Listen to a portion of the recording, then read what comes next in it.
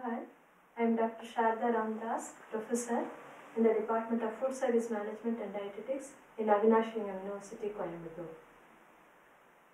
Hope the previous session on childhood obesity helped you to understand the causes, risks, treatment, and preventive measures for childhood obesity.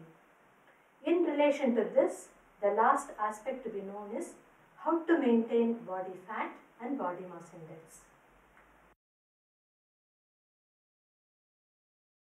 Let us now see the objectives of this module. After going through this, you will be able to explain healthy weight, overweight, and obesity. Understand the factors contribute to a healthy weight, risk factors associated with obesity, and follow healthy eating plan and healthy weight tools. Why healthy weight is important? Reaching and maintaining a healthy weight can help to prevent and control many diseases and conditions. If the person is overweight or obese, the person are at higher risk of developing serious health problems, including heart disease, high blood pressure, type 2 diabetes, gallstones, breathing problems, and certain cancers. That is why maintaining a healthy weight is so important. It helps to lower your risk for developing these problems, helps to feel good, and gives more energy to enjoy life. What is overweight and obesity? According to WHO, overweight and obesity are defined as abnormal or excessive fat accumulation that may impair health. Overweight is having extra body weight from muscle, bone, fat, or water. Obesity is having a high amount of extra body fat. Body mass index, that is BMI, is a useful measure of overweight and obesity. According to Nicolaides 2013, obesity and overweight across the lifespan is an important public health issue. It has been suggested that the track from childhood and adolescence to adulthood and are linked to many other diseases. What factors contribute to a person's weight? Look at the slide. It states that environment, lack of physical activity, restriction of sedentary behavior, family history and genetics, metabolism, socioeconomic status, psychological factors and behavior or habits that determine the individual's body weight. What do you know about energy balance? The basic components of energy balance include energy intake, energy expenditure, and energy storage. Energy balance is important for maintaining a healthy weight. The amount of energy or calories you get from food and drinks, that is energy in, is balanced with energy your body uses for breathing, digesting, and being physically active, that is energy out. The amount of energy in and energy out over time is equal to weight stays the same, that is energy balance. More energy in than out over time is weight gain. More energy out than in over time is weight loss. To maintain a healthy weight, energy in and out do not have to balance exactly every day. It is the balance over time that helps to maintain a healthy weight. How will you assess health risk? Many reference methods are able to estimate body composition accurately at the individual level. Multi-compartment models, underwater weighing, air displacement plethysmography, labeled water techniques, and dual energy X-ray absorptiometry are the most reliable methods to obtain accurate measures of total body fat. Computed tomography and magnetic resonance imaging have been also shown to provide information about body fat distribution. Nowadays, reference methods are still not enough suitable for field and clinical use. Therefore, anthropometry and bioelectrical impedance are the most widely used methods when population size is big as per Rodriguez et al. 2004. Now, I will explain the various assessment methods in detail. First, let us see hydrostatic weighing. It also referred to as underwater weighing or hydrostatic body composition analysis or hydrodensitometry. It is a technique for measuring the mass per unit volume of a patient's body. Next, air displacement plethysmography body composition. The BOD POD is an air displacement plethysmography that uses whole body densitometry to determine body composition that is fat versus lean. Similar in principle to underwater weighing, the BOD POD measures body mass using a very precise scale and volume by sitting inside the BOD POD. Next, dual energy X-ray absorptiometry. It is abbreviated as DXA or formerly it is known as DXA DEXA. It is a technique used to measure bone mineral density that is abbreviated as BMD. Computed tomography which is termed as CT. It is also called computerized tomography and computerized axial tomography that is CAT. The body fat measurement by computed tomography CT presents volume of body fat quantitatively at a specific region such as subcutaneous and abdominal fats. Next, we will see MRI scan. It is an X-ray based method in which a magnetic field excites water and fat molecules in the body, producing a measurable signal. A person lies within the magnet as a computer scans the body. High quality images shows the amount of fat and where it is distributed. Next is bioelectrical impedance. It actually determines the electrical impedance or opposition to the flow of an electric current through body tissues which can then be used to calculate an estimate of total body water that is abbreviated as TBW. The TBW can be used to estimate fat-free body mass and by difference with body fat and body weight. Next, we can study anthropometry methods. The first one, skin fold measurement. A caliper is used to measure the folds of skin measurement. The measurements are used in equations that link the thickness of skin folds to percent body fat calculations made from more precise experiments. Next, body mass index that is BMI. I think all of you are familiar with BMI. It is a simple index of weight for height that is commonly used to classify overweight and obesity in adults. It is calculated from height and weight. BMI is an estimate of body fat and a good gauge of risk for diseases that can occur with more body fat. The higher the BMI, the higher risk for getting certain diseases such as heart disease, high blood pressure, type 2 diabetes, gallstones, breathing problems and certain cancers. It is defined as a person's weight in kilograms divided by the square of his or her height in meters that is kilogram per meter square. The WHO definition is BMI greater than or equal to 25 is overweight. BMI greater than or equal to 30 is obesity.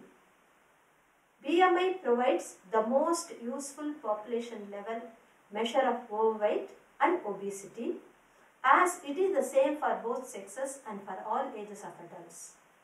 However, it should be considered a rough guide because it may not correspond to the same degree of fatness in different individuals.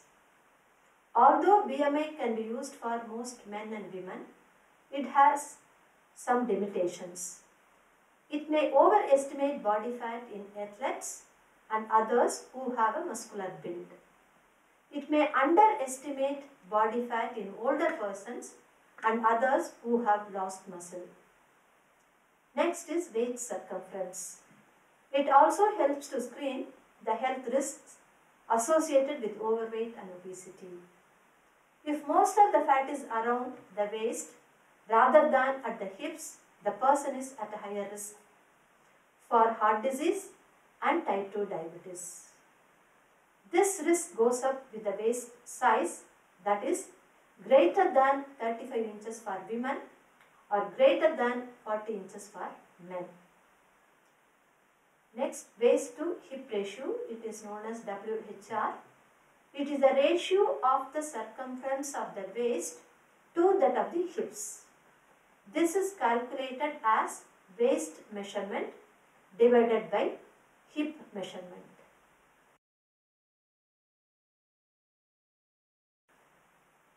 Next, body fat percentage. It is influenced by age. Older men require more body fat to remain healthy. Look at this table. Men between the ages of 20 to 29 should be considered to have normal body fat between 16 and 20 percent. For men 30 to 39 years, the range is 19 to 22 percent. For men 40 to 49, the range is 21 to 24 percent and 20 to 26 percent for men in the age group of 50 and 59 years. Men over 60 years should have a 23 percent to 26 percent of body fat percentage. Because of the prevalence of obesity, many people are concerned about their appearance and body fat percentage. Some wonder if they have a normal or ideal body fat percentage. Knowing the average body fat percentage can give a good overview of health. Coming to women, if they have a higher body fat percentage than men, it is because it is necessary for estrogen production and childbearing. Women can have a body fat percentage 10% higher than a man of the same age. You can refer the body fat chart for further details. Having a normal body fat percentage is vital to maintaining a healthy lifestyle.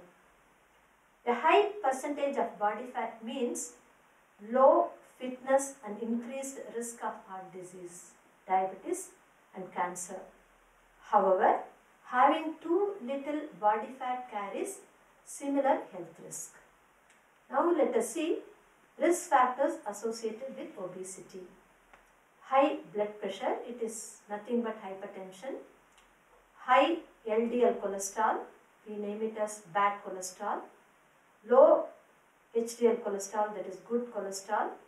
High triglycerides, high blood glucose, family history of premature heart disease, physical inactivity and cigarette smoking.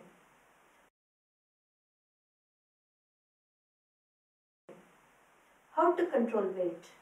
The most effective and successful way of controlling or losing weight is by setting the right goals and focusing on lifestyle changes such as following a healthy eating plan, watching portion sizes, being physically active and reducing sedentary time. Let us discuss behaviors that will help to lose weight and maintain it, setting the right goals. Setting the right goals is an important first step. It should be specific, attainable or doable, and forgiving. Exercise more is a great goal, but it is not specific. Walk 5 miles every day is specific but not measurable. Walk 30 minutes every day is more attainable but not possible every day. So, walk 30 minutes 5 days each week is specific, doable, and forgiving. In short, it is a great goal.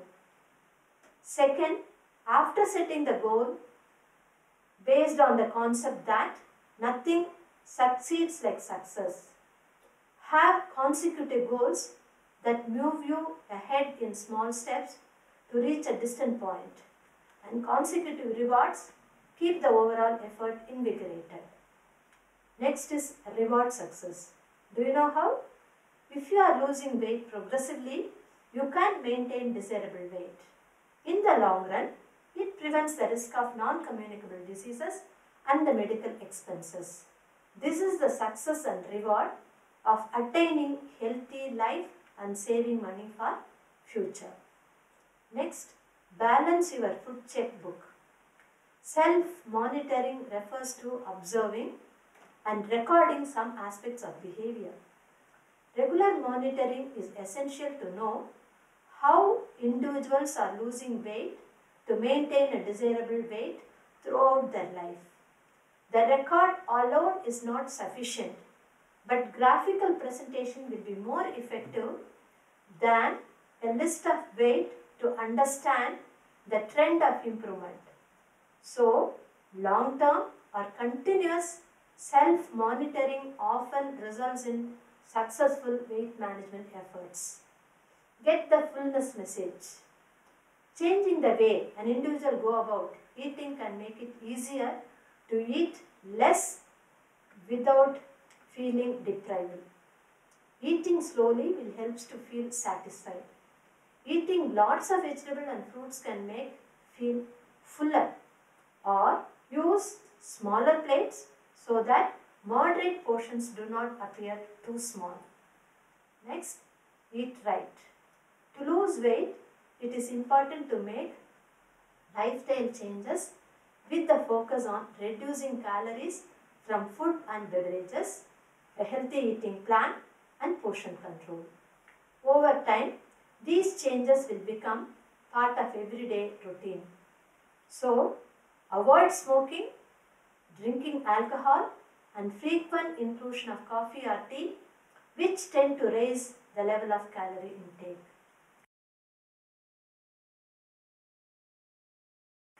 Next, healthy eating plan.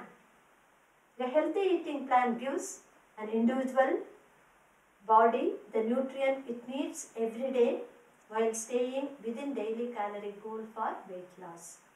A healthy eating plan also will lower the risk for heart disease and other health conditions. A healthy eating plan emphasizes vegetables, fruits, whole grains and fat-free or low-fat dairy products. Next include lean meats, poultry, fish for non-vegetarians. For vegetarians you can include beans, nuts. Next limit saturated and trans fats, sodium and added sugars. Control portion size. In eating plan, calorie plays a role. To lose weight, most people need to reduce the number of calories they get from food and beverages, that is energy in, and increase their physical activity to energy out. For a weight loss of half a kilogram per week, daily intake should be reduced by 500 to 750 kilocalories. Avoid drinking alcohol and junk foods which adds calories. In general, eating plans that contain 1200 to 1500 kilocalories each day will help most women lose weight safely. Eating plans that contain 1500 to 1800 kilocalories each day are suitable for men and for women who weigh more or who exercise regularly.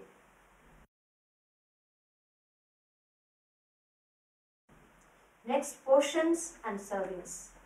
Do you know the difference between these two? Portion refers to the quantity of food provided for each portion at a meal. A portion is the amount of food that choose to eat for a meal or snack. It can be big or small. In a food service outlet or in a restaurant, it indicates the portion size that varies with the type of outlet, service and cost. In addition, portion also means divide and distribute something. Coming to serving, it is a measured amount of food or drink such as one slice of bread or one cup or 150 ml of milk. Many foods that come as a single portion actually contain multiple servings. The nutrition facts label on packaged foods on the back of the cans or side of the boxes indicates the number of servings in the container. So, now you can differentiate the portion from serving. Healthy eating plan also states that daily food and activity diary need to be maintained. Keeping a record of daily food intake will helps to stay on track when trying to lose weight or maintain a healthy weight and activity levels. It also will give doctor or healthcare provider a quick way to check the person's progress.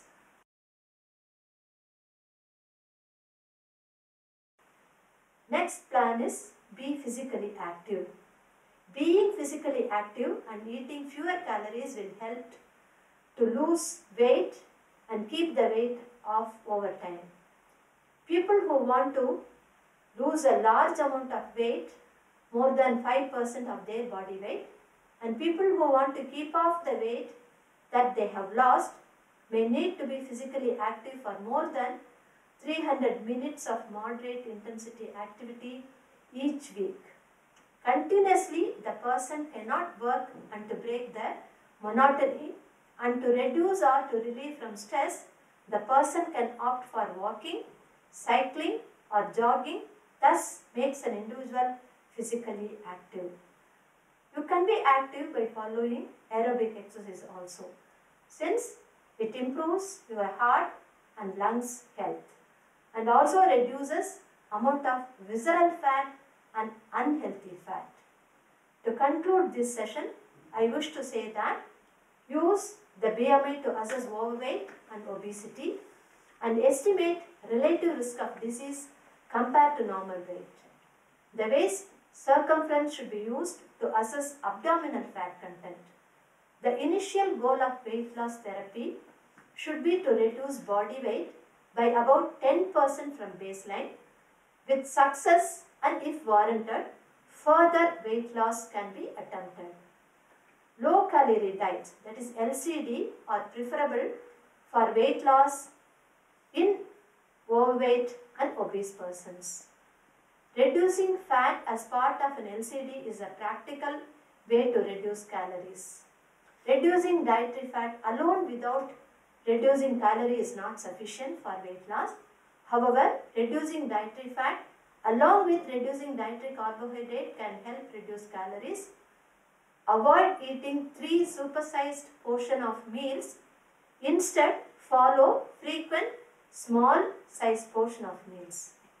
Physical activity should be part of the comprehensive weight loss therapy and weight control program because it moderately contributes to weight loss in overweight and obese adults and may decrease abdominal fat and increase cardiorespiratory fitness and may help with maintenance of weight loss. Comprehensive weight loss and weight maintenance therapy should employ low calorie diet, increased physical activity and behavior therapy which should be continued indefinitely. A weight maintenance program should be a priority after the initial six months of weight loss therapy. So, by listening to this session, you are very clear on the risk of being overweight and obesity. You will also realize now the need for comprehensive approach such as diet therapy, physical activity and behavioral therapy for a healthy life. I hope that you can adhere to these principles in your daily routine with apprehension. Thank you for patiently watching this session. Goodbye to all the listeners.